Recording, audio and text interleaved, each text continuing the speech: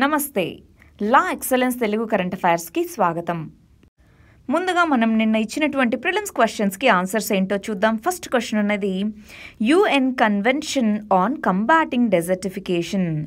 ఇది legally binding agreement అని ఇచ్చారు. లీగలీ బైండింగ్ అంటే దాని మీనింగ్ ఏంటి? ఇండియాలో మన కంట్రీలో దానికి సంబంధించి లీగల్గా దాన్ని ఇంప్లిమెంట్ చేయడం కోసం ఒక నేషనల్ లా చేయాలి కంపల్సరిగా. ఎవరైతే ఆ పర్టికులర్ కన్వెన్షన్ని రాటిఫై చేస్తారో వాళ్ళు. అది లీగలీ బైండింగ్ అంటే మీనింగ్ అనమాట ఇది లీగలీ బైండింగే కాబట్టి ఇది కరెక్ట్ స్టేట్మెంట్ రెండోది ఎర్త్ సమ్మిట్ ఎర్త్ సమ్మిట్ అనేది కన్వెన్షన్ ఆన్ క్లైమేట్ చేంజ్ అనేది ఆ సమ్మిట్ యొక్క ఫలితంగా వచ్చింది అన్నారు. అవునా కదా? నైన్టీన్ నైంటీ టూలో రియోడి జెనోరియో అన్న ప్రాంతంలో ఎర్త్ సమ్మిట్ ఫలితంగా వచ్చిందే ఇది. సో రెండూ కరెక్టే కాబట్టి answer D none of the above next question అన్నది చైల్డ్ వెల్ఫేర్ ఇండెక్స్ రీసెంట్గా అది నీతి ఆయోగ్ పబ్లిష్ చేసింది అని తెలుసు. సో అది నీతి ఆయోగ్ చేసింది అని ఇచ్చారు. ఒకటోది కరెక్టే. రెండోది ఇలాంటి ఇండెక్స్ ఇచ్చినప్పుడు ఏదర్ ర్యాంక్ తప్పివ్వడం కానీ లేదా బెటర్గా ఉన్నటువంటి స్టేట్స్ వాటి నేమ్స్ తప్పివ్వడం కానీ ఇలాంటివి చేస్తూ ఉంటారనమాట ఇక్కడ ఏమి ఇచ్చారు చూడండి. ఫస్ట్ అది కరెక్టే ఇచ్చారు. రెండోది గుజరాత్ అన్నది బెస్ట్ స్టేట్గా ఉంది అన్నారు. కానీ ఈ ఇండెక్స్ ప్రకారం చూసుకుంటే ఏ స్టేట్ బెస్ట్గా ఉందంటే కేరళ. సో రెండోది తప్పు. ఆన్సర్ ఏమవుతుంది? A one only. ఇవాళ ఫస్ట్ ఆర్టికల్ వచ్చేసి మన హోమ్ మినిస్టర్ ఇంకా థర్డ్ డిగ్రీ టార్చర్స్ ఇలాంటి కాలం ఎప్పుడో అయిపోయింది.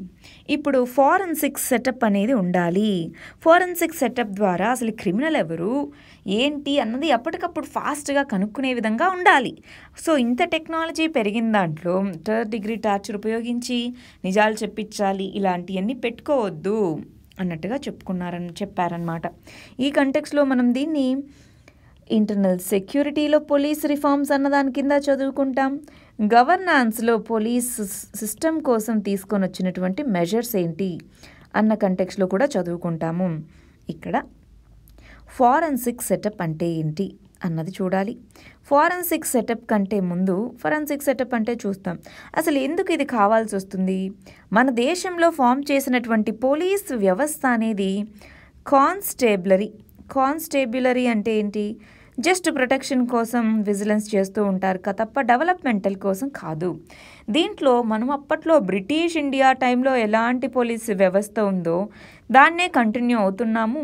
దాంట్లో టెక్నాలజీ యొక్క రోల్ని పెంపొందించట్లేదు. ఆ టెక్నాలజీ యొక్క రోల్ని పెంచేందుకు గాను ఈ పర్టికులర్గా కొన్ని మెజర్స్ తీసుకోవాలి అని చెప్తున్నారు. దానికోసం మనకు ఒక ఆర్గనైజేషన్ అనేది ఉంది. Police research police research and development wing అనేది ఉంది. ఇది దీనికి సంబంధించిన రీసెర్చ్ ఇవన్నీ చేస్తూ ఫోరెన్సిక్ టెక్నాలజీ ఇవంతా డెవలప్ చేస్తూ ఉంటుంది. సో దాని ద్వారా ఫోరెన్సిక్ సెటప్ని రోబస్ట్ అంటే స్ట్రెంగ్తన్ చేసుకోవాలి తప్ప థర్డ్ డిగ్రీలు ఇలాంటి కాలం కాదు అని చెప్తున్నారు. మరి ఈ ఆర్గనైజేషన్ ఏంటి? ఇది ఏ విధంగా వర్క్ చేస్తుందో చూద్దాం ఒకసారి. Bureau of police research and development ఇది మినిస్ట్రీ ఆఫ్ హోమ్ అఫైర్స్ కింద ఉంటుంది. దీన్ని నైన్టీన్ నైంటీ సిక్స్లో police research and advisory council అనే దాని యొక్క దాని కింద దాని సజెషన్స్ కింద ఏర్పాటు చేశారు. ఇది ఏం చేస్తుంది? మోడర్నైజేషన్ ఆఫ్ పోలీస్ ఫోర్సెస్ దీని గురించి రీసెర్చ్ చేయడమే దీని యొక్క ఆబ్జెక్టివ్ దాంట్లో యాక్టివ్ ఇంట్రెస్ట్ ఇన్ ఇష్యూస్ వీటన్నిటిలో తీసుకోవడం. స్పీడీగా సిస్టమాటిక్ స్టడీ చేయడం పోలీస్ ప్రాబ్లంకి సంబంధించి. సైన్స్ అండ్ టెక్నాలజీ అండ్ మెథడ్స్ని పోలీస్ సిస్టంలో ఎలా వాడాలి అన్న దాని గురించి రీసెర్చ్ చేసే వింగే bureau of police research and development so దీని కింద మన హోమ్ మినిస్టర్ చెప్పడం జరిగింది. దీనివల్ల ఏమవుతాయి? ఒకటి ఇప్పట్లాగా సంవత్సరాలు సంవత్సరాలు పొడిగించకుండా ఫాస్ట్గా అవుతాయి. రెండోది ఎఫిషియన్సీ పెరుగుతుంది. ఎవరు కల్ప్రిట్ ఎవరు కాదు అని తెలిసే ఎఫిషియన్సీ అనేది పెరుగుతుంది. అందుకని ఫారెన్సిక్ సెటప్ అనేది ఉండాలి. అయితే ఇక్కడ ప్రాబ్లమ్స్ ఏంటి చూద్దాం. ఫారెన్సిక్ సెటప్ అన్నాం కదా. ఈ ఫారెన్సిక్ సెటప్ అంటే ఏంటి? ఫారెన్సిక్స్ అంటే ఏంటి అసలు? మన నుంచి కలెక్ట్ చేసేటటువంటి ఎవిడెన్సెస్. అంటే అక్కడ ఉన్నటువంటి బ్లడ్ శాంపిల్ కానీ హెయిర్ శాంపిల్ కానీ ఫింగర్ ప్రింట్ శాంపిల్ కానీ ఇవన్నీ ఫారెన్సిక్స్ అన్నమాట. సో ఒకటి టెక్నాలజీని వాడుతున్నాము. దాంట్లో కొన్ని కన్సర్న్స్ కూడా ఉన్నాయి. సో ఇవి రెండింటినీ బ్యాలెన్స్ చేయాలి అంటున్నారు. మరి టెక్నాలజీ ఏ విధంగా ఉపయోగపడుతుంది? ఇందాక అనుకున్నట్టు ఫాస్ట్గా ఎవరు కల్ప్రిట్ అన్నది చూడడానికి ఫాస్ట్ ఇన్వెస్టిగేషన్ చేయడానికి ఇది యూజ్ అవుతుంది. రెండోది ఎఫెక్టివ్గా కొన్నిసార్లు విట్నెస్లు వచ్చి వేరే వాళ్ళ పేర్లు చెప్తే సో అలా లేకుండా ఎఫెక్టివ్నెస్ అన్నది ఇన్వెస్టిగేషన్లో పెరుగుతుంది. ఈ రెండిటి కోసం ఫారెన్సిక్స్ అనేది ఉపయోగపడుతుంది. మరి ఇష్యూస్ ఏంటి? దీనికి సంబంధించినటువంటి టెక్నాలజీ సెటప్ అన్నది సరిగా లేదు. రెండవది సరే ఇది ఉంది కదా అంటే దీని మిస్యూజ్ ఎక్కడ అవుతుందో? దీనికి ప్రైవసీ అనేటటువంటి కన్సర్న్స్ కూడా ఉన్నాయి. వీటిని ఎప్పుడైతే అడ్రస్ చేసి టెక్నాలజీ సెటప్ని దాంతోపాటు పీపుల్కి కెపాసిటీ బిల్డ్ చేయాలండి. ఊరికే కంప్యూటర్ ఇచ్చి ముందు కూర్చోబెడితే సరిపోదు. కెపబిలిటీని పెంచాలి. దానికి కావాల్సినటువంటి ఫినాన్సెస్ని పెంచాలి. మ్యాన్ పవర్ ఎవరైతే పనిచేస్తున్నారో వాళ్ళే అన్ని పనులు చేయడానికి కాదు. Manpower specialised manpower అనేది పెంచాలి. వీటన్నిటినీ పెంచడం ద్వారా ఈ ఫోరెన్సిక్ సర్వీసెస్ని పోలీస్ వ్యవస్థలో చాలా ఇంప్లిమెంట్ చేసుకోగలము.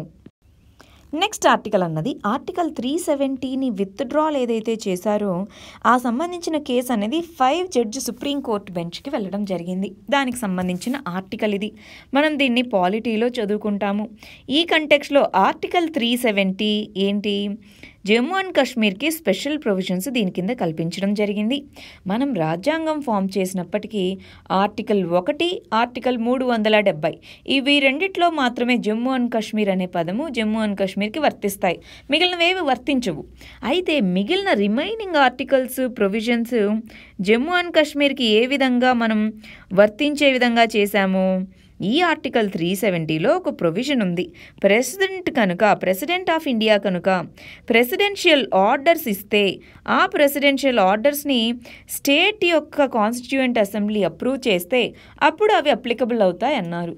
ఆ విధంగా presidential order nineteen fifty four ఇచ్చాము. ఆ తర్వాత చాలా ప్రొవిజన్స్ దీని ద్వారా మాడిఫై చేసుకుంటూ వచ్చాము. మరి దీన్ని రీసెంట్గా రివోక్ అంటే వెనక్కి తీసుకున్నారు. క్యాన్సిల్ చేయలేదు. రివోక్ చేశారు ప్రొవిజన్స్ ఏవైతే ఈ ప్రొవిజన్స్ కాదండి. త్రీ సెవెంటీ అన్న ప్రొవిజన్నే రివోక్ చేసుకోవడం జరిగింది. ఆ కంటెక్స్లో మరి ఇది కరెక్టేనా కాదా? రాజ్యాంగబద్ధమేనా కాదా? ఎంతవరకు అది కాన్స్టిట్యూషనల్ అన్నది డిసైడ్ చేయాలి అని కొంతమంది సుప్రీంకోర్టుకు వెళ్ళడం జరిగింది. ఆ కాన్స్టిట్యూషనాలిటీని డిఫైన్ చేయడం కోసం ఐదు మంది ధర్మా ఐదు మంది సభ్యులు ఉండేటటువంటి ధర్మాసనంని ఇచ్చారన్నమాట. జనరల్గా ఇంపార్టెంట్ కేసెస్లో బెంచెస్ని ఆడ్ నంబర్స్లో ఫామ్ చేస్తారు. ఎందుకని? ఇప్పుడు ముగ్గురు ఐదుగురు ఏడు మంది తొమ్మిది మంది ఇలాంటి జడ్జిలు ఉండేటటువంటి ఇంతమంది జడ్జిలు ఉండేటటువంటి ధర్మాసనాలు చూస్తాం. ఎందుకంటే ఇప్పుడు అలా కాకుండా రెండు నాలుగు ఆరు ఎనిమిది ఉన్నాయనుకోండి ఈక్వల్ స్టాండ్ తీసుకుంటే ఎట్లా? ఇద్దరు ఒకవైపు ఇద్దరు ఒకవైపు ఉంటే. సో ఈ దీంట్లో టై అనేది ఉంటుంది కాబట్టి టై లేకుండా ఉండేందుకు ఆడ్ ఆడ్ నంబర్స్ని మనం ఆడ్ నంబర్స్ ఉండే జడ్జెస్ని ఇంపార్టెంట్ విషయాలకి అపాయింట్ చేస్తారనమాట ఇక్కడ ఐదుగురు జడ్జిలు ఉండేటటువంటి ధర్మాసనాన్ని ఏర్పాటు చేయడం జరిగింది అని చెప్తున్నారు. ఈ ఆర్టికల్లో కూడా కమ్యూనికేషన్ని షట్ డౌన్ చేసి ఆ విధంగా చేయడం అన్నది అప్రాప్రియేటా కాదా అన్న దాని గురించి చెప్తున్నారు. మనం చాలాసార్లు దీని గురించి డిస్కస్ చేసుకున్నాం. మళ్ళీ దీన్ని పాల పాలిటీలో చదువుకుంటాం ఇంటర్నల్ సెక్యూరిటీలో చదువుకుంటాం. అసలు జమ్మూ అండ్ కాశ్మీర్లో జరుగుతున్న సిచ్యువేషన్ ఏంటి? ఎందుకు కమ్యూనికేషన్ని బ్లాక్ చేశారు? అక్కడ వైలెంట్ ఇన్సిడెంట్స్ జరగచ్చేమో అన్నట్టుగా కమ్యూనికేషన్స్ అటు టెలిఫోన్ నెట్వర్క్ కానీ ఇంటర్నెట్ సర్వీసెస్ కానీ అన్నిటినీ బ్లాక్ చేయడం జరిగింది. సెక్షన్ వన్ ఫార్టీ ఫోర్ సిఆర్పిసిని పెట్టి పీపుల్ గ్యాదర్ అవ్వకుండా చేయడం జరిగింది. సో ఈ విధంగా కమ్యూనికేషన్ బ్లాక్ అవుట్ చేయడం అన్నది కరెక్ట్ కాదు. మనం ఉన్నది డెమోక్రసీలో. ఈ కంటెక్స్లో పీపుల్కి క్లారిటీగా ట్రాన్స్పరెంట్ పద్ధతిలో చెయ్యాలే తప్ప ఇది కరెక్ట్ కాదు అన్నట్టుగా చెప్తున్నారు. మరి దీనికి సంబంధించిన ఆర్గ్యుమెంట్స్ ఏంటి? ఇక్కడ చూస్తే article three seventy presidential order nineteen fifty four article thirty five A ఇప్పుడు ఇది తీసేయడం వల్ల ఇది కూడా పోయింది. Section one forty four of CrPC united nations security council resolution forty seven ఇది కశ్మీర్ ఇష్యూలో కశ్మీర్లో ప్లెబిసైట్ పెట్టాలి అని చెప్పేటటువంటి resolution Shimla agreement nineteen seventy టూలో ఇండియా పాకిస్తాన్ మధ్య జరిగింది. కశ్మీర్ ఇష్యూ బైలేటరల్ ఇష్యూ అని ఒప్పుకున్నారు. ఆర్గ్యుమెంట్స్ ఏంటి? డెమోక్రటిక్ డెసిషన్ మేకింగ్కి మెయింటెనింగ్ సెక్యూరిటీకి ఆ రెండింటి మధ్య కాన్ఫ్లిక్ట్ వస్తే ఏది ఎక్కువ? వన్ నేషన్ వన్ రూలా? లేదా అసిమెట్రిక్ ఫెడరలిజానికి ఇంపార్టెన్స్ ఇవ్వాలా? ప్రొసీజరల్ డెమోక్రసీ అంటే పార్లమెంట్ చట్టం ద్వారా అంతా చేసింది ప్రొసీజర్ ఓకే. కానీ సబ్స్టాంటివ్ దాని స్పిరిట్ని కాపాడామా? ఇవి ఆర్గ్యుమెంట్స్. ఇవి కూడా మనం చాలాసార్లు డిస్కస్ చేసినవే. ఒకసారి రివైజ్ చేసుకొని ఈ ఇష్యూస్ అన్నీ మనం ముందు ఎక్కడ నోట్స్ రాసుకున్నాం అక్కడే రాసి పెట్టుకోవాలి. నెక్స్ట్ ఆర్టికల్ అన్నది క్యాబినెట్ సెంట్రల్ క్యాబినెట్ అన్నది ఎఫ్డిఐ ఫారిన్ డైరెక్ట్ ఇన్వెస్ట్మెంట్కి సంబంధించిన కొన్ని రూల్స్ని ఈజ్ చేయడం జరిగింది సరళతరం చేయడం జరిగింది. ఎందుకని? ఫారిన్ ఇన్వెస్ట్మెంట్ అనేది ఎక్కువ వస్తుంది అని. ఈ కంటెక్స్లో మనం ఈ ఆర్టికల్ని ఎకానమీలో ఎక్ ఎక్స్టర్నల్ సెక్టార్ అన్న దాంట్లో ఇన్వెస్ట్మెంట్స్ రీసోర్స్ మొబిలైజేషన్ అని ఒక టాపిక్ ఉంటుంది. దాంట్లో రీసోర్సెస్ అనేవి ఫారిన్ కంట్రీస్ నుంచి కూడా వస్తాయి. ఆ ఫారిన్ కంట్రీస్ నుంచి వచ్చే రీసోర్సెస్లో FDI foreign direct investment foreign portfolio investment ఈ విధంగా రెండు కేటగిరీస్ ఉంటాయి. సో అది ఫారిన్ ఇన్వెస్ట్మెంట్ అంటే ఏంటి? ఎందుకు రూల్స్ని ఈజ్ చేశారు? వై అనేది తెలుసుకుందాము. ఎందుకని అంటే ఇప్పుడు ఎక్స్చేంజ్ రేట్లో మన రూపీ వాల్యూ పతనం అవుతూ ఉంది. ప్లస్ మనకు వస్తున్నటువంటి ఫారిన్ ఇన్వెస్ట్మెంట్ ఏదైతే ఉందో అది వెనక్కి వెళ్తుంది ఎస్పెషల్గా ఎఫ్పిఐస్లో మనం ఫారిన్ ఇన్వెస్ట్మెంట్ ఎక్కువ కావాలి మన ఇండస్ట్రీస్కి అనుకుంటున్నాం. దాంతో ఎఫ్డిఐ అనేది ఇంపార్టెంట్ దాన్ని ఎంకరేజ్ చేద్దాము అన్న ఉద్దేశంతో దీన్ని ఈజ్ చేయడం జరిగింది. ప్లస్ గ్రోత్ రేట్స్ అనేవి తగ్గిపోతూ ఉన్నాయి. గ్రోత్ని పెంచాలంటే ఇన్వెస్ట్మెంట్ ఉండాలి. కన్జ్యూమర్ డిమాండ్ తక్కువగా ఉంది. దీంట్లో ఎక్కువ ఇన్వెస్ట్మెంట్ చేస్తే కన్జ్యూమర్ డిమాండ్ అనేది పెరుగుతుంది. అందుకని ఇంట్రడ్యూస్ చేస్తున్నారు. మరి ఏమేంటి? ఏమేమి రూల్స్ సడలించారో మనం చూద్దాం ఇక్కడ. ఏమేమి ఇంపార్టెంట్గా domestic sourcing norms domestic sourcing అంటే FDI retail brand branding retail ఉన్నప్పుడు దానికి సంబంధించి ఏవైతే మీరు వస్తువులు అమ్ముతున్నారో వాటికి సంబంధించి కొంచెం అన్నా మా దగ్గర నుంచి కొనుక్కోవాలి. దాన్నే డొమెస్టిక్ సోర్సింగ్ నామ్ అంటారు. దాన్ని డైల్యూట్ చేయడం జరిగింది. రెండవది ఎఫ్డిఐని కోల్ సెక్టార్లో వంద శాతం అనుమతించారు. ఎందుకంటే మనం కోల్ని ఇంపోర్ట్ చేసుకుంటున్నాం వేరే దేశాల నుంచి. మన దేశంలో మన దేశంలో ఫోర్త్ లార్జెస్ట్ రిజర్వ్స్ ఉన్నాయి కోల్ రిజర్వ్స్. కానీ మనం ఇంపోర్ట్ చేసుకుంటున్నాము. మూడోది డిజిటల్ మీడియాకి సంబంధించి ఇరవై ఆరు శాతం ఎఫ్డిఐని అలో చేస్తున్నారు. ఇవి ఇంపార్టెంట్గా. మరి దాని యొక్క ఇంపాక్ట్ ఏంటి? బెనిఫిట్స్ ఏంటి? అన్న చూద్దాం. దీన్ని నేను పిఐబి అన్న దాని నుంచి తీసుకోవడం జరిగింది. ఫస్ట్ వచ్చేసి ఎఫ్డిఐ పాలసీ అన్నది. మోర్ ఎఫ్డిఐని రావడానికి దాని ద్వారా ఇన్వెస్ట్మెంట్స్ పెరుగుతాయి ఎంప్లాయ్మెంట్ పెరుగుతుంది గ్రోత్ పెరుగుతుంది. అందుకని ఈ పాలసీని తీసుకోవడం జరిగింది. ఫస్ట్ది కోల్ సెక్టార్లో వంద శాతం ఎఫ్డీఐని ఆటోమేటిక్ రూట్ ద్వారా తీసుకొని వచ్చారు. రెండోది మ్యానుఫ్యాక్చరింగ్ సెక్టార్ని మ్యానుఫ్యాక్చరింగ్ సెక్టార్లో కాంట్రాక్చువల్ మ్యానుఫ్యాక్చరింగ్ దాన్ని ఇండియాలో ఎఫ్డీఐని అలో చేయడం జరిగింది. కాంట్రాక్చువల్ మ్యానుఫ్యాక్చరింగ్ అంటే వేరే దేశంలో అమ్ముకోవడానికి మన దేశంలో మ్యానుఫ్యాక్చర్ చేసుకోవచ్చు అలాంటిది. మూడోది లోకల్ సోర్సింగ్ నామ్స్ ఎఫ్డీఐలో దాంట్లో కూడా సింగిల్ బ్రాండ్ రీటైల్లో దాన్ని ఈజ్ చేయడం జరిగింది అని చెప్తున్నారు. దాంతోపాటు లాస్ట్ది డిజిటల్ మీడియాకి సంబంధించి ఇరవై ఆరు శాతం. సో ఒకసారి ఇక్కడ పాజ్ చేసుకొని ఇది చూసుకోవాలి.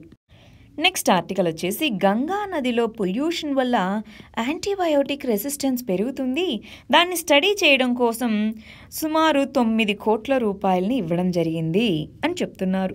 డిఫరెంట్ ఇన్స్టిట్యూట్స్ ఇక్కడ చెప్తున్నారు చూసారా? ఇవన్నీ కలిసి స్టడీ చేస్తున్నాయన్నమాట.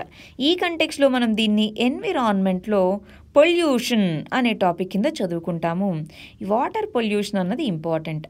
గంగా రివర్ మన హోంవర్క్ ఫస్ట్ చూద్దాం. గంగా రివర్ ఏ ఏ రాష్ట్రాల్లో ఉంది అన్నది మ్యాప్తో చూసుకోవాలి. దాని యొక్క ఫస్ట్ ఏంటి? స్టేట్స్. ఏ ఏ స్టేట్స్లో ఉందో చూసుకుంటాం. దాని యొక్క ట్రిబ్యూటరీస్ ఉపనదులు అంటాము. ఆ ట్రిబ్యూటరీస్ ఏమేమి ఉన్నాయి? అది లిస్ట్ అవుట్ చేసుకుంటాం. దాంట్లో కూడా మళ్ళీ లెఫ్ట్ ట్రిబ్యూటరీస్ రైట్ ట్రిబ్యూటరీస్ అన్నవి చదువుకుంటాం. ఇప్పుడు చూద్దాం. అసలు యాంటీబయోటిక్ రెసిస్టెన్స్ అంటే ఏంటి? యాంటీబయోటిక్స్ మనం ఏవైతే మందులు ఇవి వాడుతున్నామో వాటిని కూడా తట్టుకొని నిలబడేలాగా అన్నమాట రెసిస్టెన్స్ పెరుగుతుంది. అది వాటర్లో ఎక్కువ యాంటీబయో బాడీస్ ఇవి ఉండడం వల్ల వస్తుంది. ఈ కొలై అనేటటువంటిది ఎక్కువగా ఉంది వాటర్లో. జనరల్గా ఇది మన ఫీకస్ వల్ల మలమూత్ర విసర్జన ద్వారా వచ్చిన దానివల్ల వస్తుంది. మరి ఎందుకని ఇది గంగా నదిలో ఇన్ని మెజర్స్ తీసుకుంటున్నాం? నేషనల్ గంగా మిషన్ అని అవి అని ఇవని? కానీ ఎందుకు ఇంకా పెరుగుతూ ఉంది? అందుకోసం వై అన్నదాన్ని స్టడీ చేయడం కోసం అసలు ఎందుకు ఈ యాంటీ మైక్రోబియల్ రెసిస్టెన్స్ పెరుగుతుంది తెలుసుకోవడానికి ఈ స్టడీని ఇవ్వడం జరిగింది. ఈ యాంటీబయాటిక్ రెసిస్టెన్స్ అనేది పెరగడం ద్వారా కమ్యూనిటీ లెవెల్లో అక్కడ ఉన్నటువంటి పీపుల్ ఎవరైతే ఆ వాటర్ని యూజ్ చేస్తున్నారో వాళ్ళలో ఇంకా ఇన్ఫెక్షన్స్ పెరుగుతూ ఉన్నాయి. ఆ మందులు వాడుతున్నా తగ్గట్లేదు. మరి ఇది చాలా దారుణమైనటువంటి పరిణామం. దీనికి ముందే అసలు ఏంటి సోర్స్ అని కనుక్కొని దాన్ని కట్ డౌన్ చేసేందుకు కాను ఈ పర్టికులర్ దీన్ని ఇవ్వడం జరిగింది. నెక్స్ట్ ఆర్టికల్ జీ సెవెన్ సమ్మిట్కి సంబంధించినటువంటిది దీన్ని ఇంటర్నేషనల్ రిలేషన్స్లో చదువుకుంటాము. జీ సెవెన్ సమ్మిట్ అంటే ఏంటి? డెవలప్డ్ మరియు ఇండస్ట్రియలైజ్డ్ కంట్రీస్ అయినటువంటి ఏడు అతిపెద్ద ఇండస్ట్రియల్ దేశాలు జీ సెవెన్ కంట్రీస్గా ఫామ్ అయ్యాయి. ఇంతకుముందు జీ ఎయిట్ అనేవాళ్ళం. కానీ దాంట్లోంచి రెండు వేల పద్నాలుగులో రష్యాని బయటికి తీసేశారు. దాంతో ఇప్పుడు జీ సెవెన్ అయ్యింది. ఈ కంటెక్స్లో ఎందుకు ఇది ఇంపార్టెంట్ ఇండియా అనేది స్పెషల్ గెస్ట్గా అటెండ్ అవ్వడం జరిగింది. సో ఆ కంటెక్స్లో ఇండియా స్పెషల్ గెస్ట్గా అటెండ్ అయిన దీంట్లో మనం అక్కడ సమ్మిట్లో కంటే అవుట్ సైడ్ సమ్మిట్ అంటాము. అవుట్ సైడ్ సమ్మిట్లో బైలేటరల్గా కొన్ని మీటింగ్స్ జరిపారు. దాంతో యుఎస్ఏ యొక్క ప్రెసిడెంట్ అయినటువంటి డొనాల్డ్ ట్రంప్తో మీటింగ్స్ జరపడం జరిగింది. డొనాల్డ్ ట్రంప్ మాట్లాడి కాశ్మీర్ ఇష్యూ మా బైలేటరల్ ఇష్యూ అని ట్రంపే చెప్పే విధంగా చేశారు. కానీ ఇక్కడ మనం మొన్న మొన్న డిస్కస్ చేసుకున్నాం. యుఎస్ఏకి పాకిస్తాన్ చాలా ఇంపార్టెంట్. ఆఫ్ఘనిస్తాన్ నుంచి దాని యొక్క ఆర్మ్డ్ ఫోర్సెస్ ఏవైతే ఉన్నాయో అవి బయటికి రావాలంటే ఇది ఇంపార్టెంట్. ఆ కంటెక్స్లో మళ్ళీ పాకిస్తాన్ దగ్గరికే వెళ్ళే పరిస్థితి ఉంది బట్ ప్రస్తుతానికైతే కశ్మీర్ ఇష్యూ అనేది బైలేట్రల్ అది రిలీజన్కి సంబంధించింది కాదు. మన దేశంలో కూడా ముస్లిమ్స్ ఉన్నారు. సో రిలీజన్ ఇష్యూ కాదు అని మనం ప్రస్తుతానికైతే ట్రంప్ను ఒప్పించగలిగాము. ఈ G seven summit sidelines అంటాము. సైడ్ లైన్స్ అనేవి అడిషనల్గా వీళ్ళు లీడర్స్ మాట్లాడుకునేవన్నమాట. దీంట్లో మాట్లాడుకున్నారు. అది ఇక్కడ చెప్తున్న విషయం. నెక్స్ట్ ఆర్టికల్ వచ్చేసి ఆనర్ కిల్లింగ్స్కి సంబంధించింది. దీన్నే గౌరవ హత్యలు అని కూడా అంటాము. దీన్ని అసలు ఇండియన్ సొసైటీ ఎలా ఉంది? సొసైటీలో ఉన్న డిఫరెంట్ ఇష్యూస్ ఏంటి అన్న దాని కింద చదువుకుంటాం. ఇక్కడ కేరళలో లాస్ట్ ఇయర్ టూ థౌజండ్ ఎయిటీన్లో కెవిన్ అనే ఒక అతన్ని తీసుకెళ్ళి నీళ్ళలో ముంచేసి చంపేయడం జరిగిందనమాట అతను దళిత్ క్రిస్టియన్ అని చెప్తూ అతను వేరే అమ్మాయిని మ్యారేజ్ చేసుకోవాలనుకున్నప్పుడు అతను అతను అలా చంపేయడం జరిగింది. ఆ కేసు కోర్టుకెళ్తే ఆ కేసులో చెప్పారనమాట ఇలాంటి కేసులో చాలా తీవ్రంగా పరిగణించాల్సి ఉంటుంది అని చెప్పి. ఆ కేసులో నిందితులు ఎవరైతే ఉన్నారో వాళ్ళకి లైఫ్ టర్మ్ విధించడం జరిగింది. జీవిత ఖైదు విధించడం జరిగింది. డెత్ పెనాలిటీ కాదు. ఎందుకు లైఫ్ టర్మ్ విధించారు అంటే అక్కడ ఆ కేసులో ఇన్వాల్వ్ అయిన ఎవ్వరికీ ఇంతకుముందు క్రిమినల్ రికార్డ్ లేదు. సొసైటీలో ఉన్న ఇష్యూస్ వల్ల ఇలా చేశారు అని చెప్పి డెత్ పెనాలిటీ బదులు లైఫ్ టైం అని లైఫ్ టర్మ్ అనేది విధించడం జరిగింది. మనకి రేరెస్ట్ ఆఫ్ ద రేర్ అని ఒక డాక్టరీన్ ఉందండి. Rarest of the rare doctrine కింద బచ్చన్ సింగ్ అనేటటువంటి case. Bachan Singh versus state of Punjab అన్న కేసులో రేరెస్ట్ ఆఫ్ ద రేర్ కేసులో డెత్ పెనాల్టీ అనేది ఇవ్వచ్చు అని ఉంది కానీ ఈ పర్టికులర్ కేసులో కోర్ట్ అనేది డెత్ పెనాల్టీ బదులు లైఫ్ టైం విధించడానికి కారణం ఏంటంటే వాళ్ళకి ముందు ఉన్నటువంటి క్రిమినల్ యాంటిసిడెంట్స్ అవి ఏమీ లేవు కాబట్టి అన్నారు. కానీ ఇప్పటికీ చాలాసార్లు ఈ ఆనర్ కిల్లింగ్స్ అనేవి కరెక్ట్ కాదు అని చాలా సుప్రీంకోర్టు తీర్పుల్లో వాటింట్లో చెప్పినప్పటికీ ఇలాంటివి కంటిన్యూ అవుతూ ఉన్నాయి. కేరళ అనేది one of the most educated states educated states అయ్యుండి ఇలాంటి ప్రోగ్రెసివ్గా ఉన్న స్టేట్స్ అనుకుండి ఇలాంటివి జరగడం అన్నది కరెక్ట్ కాదు. మరి దీనికి సంబంధించి అడ్మినిస్ట్రేషన్ ఇవి ఇలాంటి ఆనర్ కిల్లింగ్స్ని వీటిని ప్రొహిబిట్ చేసే విధంగా మెజర్స్ తీసుకోవాలి అని చెప్తున్నారు. ఈ కంటెక్స్లో మనం ఒక కేసు చూడాలండి. షాఫన్ జహాన్ వర్సెస్ అశోకన్ ఈ కేసు అనమాట హదియా కేస్ అంటాం. గుర్తే ఉండే ఉంటుంది. కేరళ అమ్మాయి ఈ అమ్మాయి కూడా. హదియా కేస్ ఈ కేసులో చెప్పడం జరిగింది. ఒక ఇండివిజువల్కి after a certain age eighteen years above ఉన్న ఇండివిజువల్కి రైట్ టు మ్యారేజ్. వాళ్ళకి ఇష్టం వచ్చిన వాళ్ళని మ్యారేజ్ చేసుకునేటటువంటి రైట్ అనేది ఉంటుంది అని సుప్రీంకోర్టు చెప్పడం జరిగింది. ఈ పర్టికులర్ కంటెక్స్లో దృష్టిలో పెట్టుకున్నాం. మరి దీన్ని పాటించేది ఎవరు కాస్ట్ లైన్స్లో రిలీజియన్ లైన్స్లో డిఫరెన్షియేషన్ అయితే చూపిస్తున్నారు అన్నట్టుగా చెప్తున్నారు. నెక్స్ట్ ఆర్టికల్ వచ్చేసి ఎకానమీని రివైవ్ చేయాలని చాలా ప్రయత్నాలు చేస్తుంది గవర్నమెంట్ అన్న కంటెక్స్లో చెప్తున్నారు దీన్ని. ఎకానమీలో ఎకనామిక్ గ్రోత్ అన్న కంటెక్స్లో చూస్తాము. రీసెంట్గా వచ్చిన కంటెక్స్ట్ ఏంటి ఇక్కడ? ఆర్బీఐ అన్నది రిజర్వ్ ఫండ్స్ని సెంట్రల్ గవర్నమెంట్కి ట్రాన్స్ఫర్ చేయడం జరిగింది. ఒక స్టూడెంట్ డౌట్ అడిగారండి. సెంట్రల్ గవర్నమెంట్దే అయినప్పుడు మళ్ళీ షేర్ ఏంటి? సెంట్రల్ గవర్నమెంట్ వేరు సెంట్రల్ బ్యాంక్ వేరు. సెంట్రల్ బ్యాంక్ అన్నది ఒక చట్టం ద్వారా ఏర్పాటు చేయబడినటువంటి ఆటోనామస్ ఆర్గనైజేషన్ అందుకని దీనికి దీంట్లో షేర్ అనేది ఉంది. అది ఒక డిపార్ట్మెంట్ కాదు. డిపార్ట్మెంట్స్ అనుకోండి డైరెక్ట్గా గవర్నమెంట్ కిందికి వస్తాయి. కానీ సెంట్రల్ బ్యాంక్ అన్నది అటోనామస్ ఆర్గనైజేషన్ అందుకే హండ్రెడ్ పర్సెంట్ షేర్ అలాంటివి నిన్న మనం మాట్లాడుకున్నాము. ఇంకొకటి సరే ఎందుకు ఇలాంటి మెజర్స్ తీసుకుంటుంది? ఏ విధంగా దానివల్ల గ్రోత్ రివైవ్ అవుతుంది అన్నది మనం చూద్దాం. ఫస్ట్ అసలు గ్రోత్కి ఏమేమి ఇంపాక్ట్ చూపిస్తాయి? అసలు గ్రోత్ని పెంచాలంటే ఎటువంటి మెజర్స్ తీసుకోవచ్చు అన్నది చూడాలి. ఇక్కడ demand side measures supply side measures అని రెండు రకాలుగా కేటగరైజ్ చేసుకుంటాము. డిమాండ్ సైడ్ మెజర్స్ అంటే ఏంటి? డిమాండ్ పెంచాలి. డిమాండ్ పెంచాలంటే పీపుల్ దగ్గర ఉన్నటువంటి మనీ మనీని పెంచాలి. దీనికోసం లిక్విడిటీ అంటాము. మార్కెట్లో లిక్విడిటీని పెంచాలి. అందుకోసమే ఆర్బీఐ అన్నది రెపో రేట్స్ని తగ్గించడం వీటన్నిటిని చేయడం జరిగింది. డిమాండ్ పెంచాలి అంటే గవర్నమెంట్ యొక్క ఎక్స్పెండిచర్ పెంచాలి. ఇక్కడ పబ్ పీపుల్ మనీ అంటే కన్స్యూమర్ లెవెల్లో మనం ఎక్స్పెండిచర్ పెంచడానికి ఇది గవర్నమెంట్ ఎక్స్పెండిచర్ పెంచడానికి ఇవి రెండు డిమాండ్ సైడ్ మరి సప్లై సైడ్ అంటే సప్లై సైడ్ ఏ విధంగా గ్రోత్ అనేది పెరుగుతుంది? ఇక్కడ మనకి స్ట్రక్చరల్ రిఫార్మ్స్ సైక్లికల్ రిఫార్మ్స్ ఇవి వస్తాయన్నమాట. ఈ కంటెక్స్లో మనం రీసెంట్గా తీసుకున్నవన్నీ దేని కింద రావచ్చో ఒక్కసారి చూద్దాం. రీసెంట్గా ఫినాన్స్ మినిస్టర్ కొన్ని మెజర్స్ అనౌన్స్ చేయడం జరిగింది. సెబీ కొన్ని మెజర్స్ అనౌన్స్ చేయడం జరిగింది. ఆర్బీఐ కొన్ని మనీని గవ సెంట్రల్ గవర్నమెంట్కి ఇవ్వడం జరిగింది. ఇవన్నీ కూడా ఈ గ్రోత్ని ఇండైరెక్ట్గా దీన్ని మెజర్ చేసేటటువంటి జీడిపిని పెంచడం కోసమే చేయడం జరిగింది. రీసెంట్ మెజర్స్ ఏమేమి ఉన్నాయని మనం లిస్ట్ డౌన్ చేసుకోవాలి. ఇక్కడ ఈ ఆర్టికల్లో చెప్తుంది ఏంటంటే కాంప్రిహెన్సివ్గా చూడకుండా ఓన్లీ ఎఫ్డిఐ ఎఫ్ఐఐని చూసుకుంటే సరిపోదు. రీసెంట్ ఏమేమి మెజర్స్ తీసుకున్నారు ఏమేమి చేయాలి అన్నది చూద్దాం.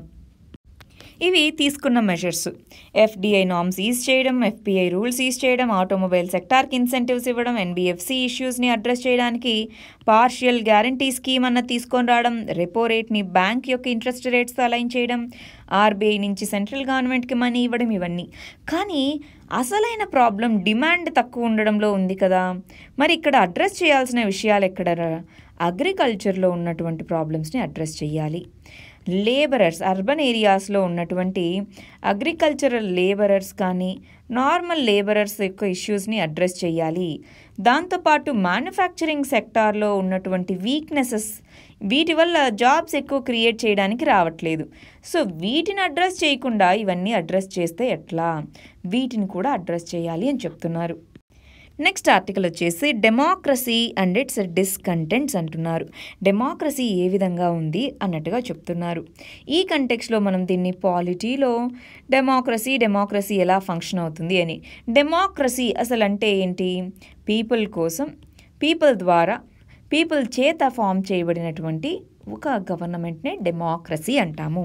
ఈ డెమోక్రసీలో పవర్ మన కంట్రీలో రిప్రజెంటేటివ్స్ అంటే పీపుల్ రిప్రజెంటేటివ్స్కి వాళ్ళ ద్వారా వాళ్ళని రిప్రజెంట్ చేస్తూ ఎన్నుకోబడ్డ నాయకుల ద్వారా పవర్ని అది వినియోగిస్తున్నారు. కానీ పవర్ వీళ్ళ దగ్గర లేదు. ఇప్పుడున్న పరిస్థితుల్లో వెస్ట్రన్ కంట్రీస్ చూసుకుంటే వాళ్ళ దగ్గర నుంచి డెమోక్రసీ అన్న ఫిలాసఫీ వచ్చింది. కానీ అది కార్పొరేట్స్ వైపుగా వీగిపోతుంది. అసలు గవర్నమెంట్ యొక్క రోల్ తగ్గిపోతుంది. కానీ మనలాంటి డెవలపింగ్ కంట్రీస్లో గవర్నమెంట్ రోల్ ఇంపార్టెంట్. కానీ ఆ గవర్నమెంట్ రోల్ ఎక్కడ ఎక్కడ ఇంపార్టెంట్? డీసెంట్రలైజేషన్. డీసెంట్రలైజేషన్ అంటే మనకి స్టేట్ గవర్నమెంట్ దాని తర్వాత డిస్ట్రిక్ట్ దాని తర్వాత లోకల్ గవర్నమెంట్స్. సో ఈ విధంగా సెంట్రల్ నుంచి స్టేట్ స్టేట్ నుంచి లోకల్ గవర్నమెంట్స్ ఈ విధంగా పవర్ డీసెంట్రలైజ్ అయ్యి కమ్యూనిటీస్కి ఎక్కువ ఇంపార్టెన్స్ ఇవ్వాలి. కమ్యూనిటీ పార్టిసిపేషన్ ఎప్పుడైతే గవర్నమెంట్ యొక్క ఫంక్షనింగ్ గవర్నాన్స్లో పెరుగుతుందో అప్పుడే డెమోక్రసీ అనేది స్ట్రెంగ్తన్ అవుతుంది. ఇది చాలా వెస్ట్రన్ కంట్రీస్లో ఉండట్లేదు. సో మనం పెంచాలి ఈ వీకర్ లెవెల్స్ ఏవైతే ఉన్నాయో వాటిని స్ట్రెంగ్తన్ చేసుకోవాలి అని చెప్తున్నారు. నెక్స్ట్ ఆర్టికల్ వచ్చేసి Tamil Nadu government roof top solar system తీసుకొని వచ్చింది. కానీ అక్కడ ప్రాబ్లమ్స్ అయితే ఎగ్జిస్టెంట్గా ఉన్నాయి అని చెప్తున్నారు. ఈ కంటెక్స్లో మనం దీన్ని ఎన్విరాన్మెంట్లో రెన్యూబుల్ ఎనర్జీ అన్న కంటెక్స్ట్ కింద చదువుకుంటాము. ఈ రెన్యూబుల్ ఎనర్జీలో సోలార్ ఎనర్జీ ఈ సోలార్లో రూఫ్ టాప్ అంటే ఏంటి? స్పెసిఫిక్గా రూఫ్ టాప్ అంటున్నారు. అంటే అది కాకుండా వేరేది కూడా ఉందా? అన్నట్టుగా చదువుకుందాం. దాంట్లో ఉన్నటువంటి ఎందుకు రూఫ్ టాప్కి వెళ్ళాలి ఆ రూఫ్ టాప్ వల్ల ఉన్నటువంటి అడ్వాంటేజెస్ ఏంటి అన్నది చదువుకుందాం. మరి దానివల్ల వచ్చేటటువంటి బెనిఫిట్స్ ఏంటి రూఫ్ టాప్ సోలార్ వల్ల? ఇవి మనం చూద్దాం. అయితే ప్రాబ్లమ్స్ ఏమేమి ఉన్నాయి? బెనిఫిట్స్ అడ్వాన్స్ అడ్వాంటేజెస్ ఒకటే. ఆ ప్రాబ్లమ్స్ని ఎలా సాల్వ్ చేయాలి? ఇవి మనం నేర్చుకుందాం. ఫస్ట్ సోలార్ పవర్ని మనము గ్రిడ్ కనెక్టెడ్ సోలార్ అంటే గ్రిడ్తో కనెక్ట్ అయి ఉంటుంది. డీసెంట్రలైజ్డ్ ఎక్కడికక్కడ స్టోరేజ్ ఉండి సో దాన్ని అక్కడ వాడుకోవడం అనమాట దీన్ని డీసెంట్రలైజ్డ్ అంటాము. స్టోరేజ్ బేస్డ్ అనమాట ఇది. ఈ డీసెంట్రలైజ్డ్ది ఈజీనే ఇప్పుడు మనం స్ట్రీట్ లైట్స్ అవన్నీ డీసెంట్రలైజ్డ్ గ్రిడ్ కనెక్టెడ్ కూడా ఉంటుంది. ఈ సోలార్లో ఇంకో కేటగరైజేషన్ ఉంది. ఆ కేటగరైజేషన్ ఏం చెప్తుంది? రూఫ్ టాప్ మనం రూఫ్ టాప్తో చేసేది. అలా కాకుండా ఒక స్పెసిఫిక్ ఏరియాస్లో సోలార్ పవర్ ప్లాంట్స్ అంటాం కదా? అలా బిగ్ బిగ్ సోలార్ పవర్ ప్లాంట్స్ని తీసుకొని రావడము సో ఈ రెండిట్లో రూఫ్ టాప్ సోలార్ ప్లాంట్స్ అన్నవి సోలార్ పవర్ ప్లాంట్స్ అన్నవి ఇంపార్టెంట్ ఇవి హౌసెస్కి ఆఫీసెస్కి గవర్నమెంట్ బిల్డింగ్స్కి వీటన్నిటికీ వాడుకుంటాము. సో ఈ కంటెక్స్లో హౌసెస్కి పెంచాడి ఆఫీసెస్ గవర్నమెంట్ ఆఫీసెస్కి ఈజీనే. కానీ ఇండివిజువల్ హౌసెస్కి రూఫ్ టాప్ని పెంపొందించాలి అంటే ప్రాబ్లమ్స్ ఏంటి సొల్యూషన్స్ ఏంటి చూద్దాం. ప్రాబ్లమ్స్ ఏమేమి ఉన్నాయి వాటిని గ్రిడ్తో కనెక్ట్ చేయాలి. ఈ గ్రిడ్ కనెక్షన్ చాలా వాటికి లేదు. సో దాంతో వాళ్ళు ప్రొడ్యూస్ చేసినా పెద్దగా ఉపయోగం ఉండట్లేదు. రెండోది వాళ్ళది పర్చేస్ చేయాలి కదా. ఆ పర్చేజ్ అగ్రిమెంట్స్ ఇవి ప్రాపర్గా లేదు. ఆ పర్చేజ్ ప్రైస్ సరిగా లేదు. మూడోది ఇనీషియల్ కాస్ట్ అన్నది ఎక్కువ అవుతుంది ఇనీషియల్ ఇన్స్టాల్మెంట్ కాస్ట్ అంటాము. ఆ ఇన్స్టాల్మెంట్ కాస్ట్ అనేది ఎక్కువగా ఉంది. సో వీటిని అడ్రస్ చేయగలగాలి. నార్మల్గా వేరే వాళ్ళ దగ్గర నుంచి పర్ యూనిట్ ఎయిట్ రూపీస్ పెట్టి కొనుక్కుంటూ ఈ రూఫ్ టాప్ ద్వారా కొనుక్కున్న వాటికి టూ రూపీసే పే చేస్తుంటే అది ఇన్సెంటివైజేషన్ ఉండట్లేదు. సో ఇవి ప్రాబ్లమ్స్. మరి సొల్యూషన్స్ ఏంటి? ఇక్కడ జర్మనీ అన్నది ఈ రూఫ్ టాప్ సోలార్లో వరల్డ్ లీడర్ అనమాట అది ప్రతి ఒక్క ఇంటిని కనెక్ట్ చేసుకొని దాన్ని గ్రిడ్తో కనెక్ట్ చేసి దానికి స్మార్ట్ మీటర్స్ అనేది పెట్టుకుంది. ఆ స్మార్ట్ మీటర్స్ ద్వారా వాళ్ళెంత వాడుకుంటున్నారు ఎంత గ్రిడ్కి కనెక్ట్ అవుతుంది అని చెప్పి వాళ్ళకి డిజిటల్ పేమెంట్స్ అప్పటికప్పుడు జరిగిపోతాయన్నమాట. ఈ విధంగా వాళ్ళకు ఒక యాప్ ఉంటుంది దాని ద్వారా డిజిటల్ పేమెంట్స్. సో ఆ ప్రైసింగ్ అనేది ఇవన్నీ ఉండడం వల్ల అది ఒక సక్సెస్ఫుల్ మోడల్ అయింది వరల్డ్ వైడ్గా. సో ఆ విధంగా మనం కూడా ఇలాంటి మోడల్స్ని అడాప్ట్ చేసుకోవాలి అన్నట్టుగా ఈ ఆర్టికల్లో చెప్తున్నారు. నెక్స్ట్ ఆర్టికల్ అన్నది హాంకాంగ్ హాంకాంగ్లో జరుగుతున్నటువంటి ప్రొటెస్ట్లకి సంబంధించి. దీన్ని మనం ఇంటర్నేషనల్ రిలేషన్స్లో చదువుకుంటాము. అసలు చైనాకి హాంకాంగ్కి మధ్య ఉన్నటువంటి ఇష్యూస్ ఏంటి? ఎందుకని అక్కడ ప్రొటెస్ట్లు జరుగుతూ ఉన్నాయి? మరి దాన్ని ఏ విధంగా చైనా గవర్నమెంట్ అనేది అడ్రస్ చేస్తుంది? ఫస్ట్ ఇక్కడ హాంకాంగ్ మొత్తం మీద కంట్రోల్ చూపించాలని చైనా అంటుంది. సో అది మాకొద్దు. మా కంట్రీలో ఉన్నటువంటి ఆర్ మా ప్రాంతంలో ఉన్నటువంటి అటానమీ సెమీ అటానమస్ ప్రాంతం అంటాము. ఆ అటానమీని మాకు కల్పించండి అన్నట్టుగా హాంకాంగ్ అందుకని ప్రొటెస్ట్ చేస్తుంది. చైనా ఏం చేస్తుంది? వాళ్ళ మీద పోలీస్ ఫైరింగ్స్ చేయడము ఇవన్నీ చేస్తుందన్నమాట. దాంతో ఇంకా పెద్దగా అయ్యాయి తప్ప తగ్గలేదు. దానికి సంబంధించి హిస్టరీని ఇక్కడ ఇవ్వడం జరిగింది. అసలు ఏ విధంగా హాంకాంగ్ అన్నది చైనాలో పార్ట్ అయిందని ఒకసారి ఇక్కడ పాజ్ చేసి చదువుకోవాలి. న్యూస్ పేపర్లో కూడా దీన్ని ఇచ్చారు. అక్కడైనా చదువుకోవచ్చు. నెక్స్ట్ ఆర్టికల్ వచ్చేసి India star tortoise smooth coated otter వీటిని కొన్నిటిని సైట్స్లో అపెక్స్ వన్లో జాయిన్ చేయాలి అంది.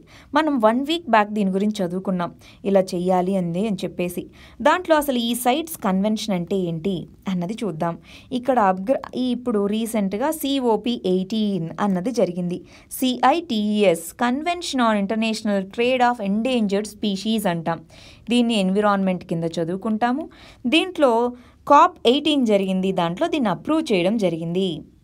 ఇక్కడ ట్రాఫిక్ అనేది ఒక ఎన్జిఓ. దీంట్లో సైట్స్. సైట్స్ అంటే convention on international trade in endangered species అంటాము. అపెండిక్స్ వన్లో హై ప్రొటెక్షన్ ఉంటుంది. అపెండిక్స్ టూలో మోడరేట్ ప్రొటెక్షన్. అపెండిక్స్ త్రీ అనేది సపరేట్గా ఉంటుంది. దీంట్లో ఉన్న వాటిని దీంట్లోకి షిఫ్ట్ చేయాలని చెప్పారు. సో ఇండియా రిక్వెస్ట్ మేరకు దాన్ని షిఫ్ట్ చేయడం జరిగింది. ఇది సైట్స్ అనేది లీగల్లీ బైండింగ్ అగ్రిమెంట్ అనమాట నెక్స్ట్ ఆర్టికల్ గ్రెటా థాన్బర్గ్ ఈ అమ్మాయి స్వీడన్కి సంబంధించినటువంటి environmental activist last time climate emergency అనే పదం బాగా వినుంటాం. ఈ క్లైమేట్ ఎమర్జెన్సీ తీసుకొని రావాలి అని చెప్పి బాగా యాక్టివ్గా సోషల్ మీడియాలో వీటి ద్వారా ఈ అమ్మాయి ద్వారా ఇన్స్పైర్ అయ్యి చాలామంది స్కూల్ చిల్డ్రన్ క్లైమేట్ ఎమర్జెన్సీ రావాలి అని చెప్పి చెప్పడం జరిగింది. సో తను న్యూయార్క్లో జరగబోయేటటువంటి సమ్మిట్కి క్లైమేట్ సమ్మిట్కి అటెండ్ అవ్వడానికి ఒక యార్చ్ అంటే ఒక చిన్న షిప్ లాంటి దాంట్లో వచ్చిందని చెప్తున్నారు. ఇవాళ మెయిన్స్ క్వశ్చన్ ఇది. First prelims question second prelims question ఈ రెండిటికి ఆన్సర్స్ కమెంట్ సెక్షన్లో ఇవ్వండి.